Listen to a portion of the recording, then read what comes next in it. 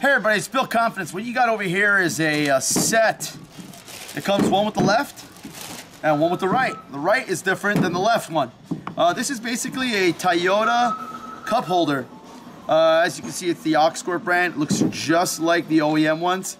It's actually exactly the same. It's super easily, super durable. You know, you can take this thing and wash it in a second. It gets dirty. All you got to do is just slip them right into place. Check out the Fitment guide, making sure that it fits. If you have any further questions in regards to the product or regards to fitments, you can always visit us at www.oxgord.com.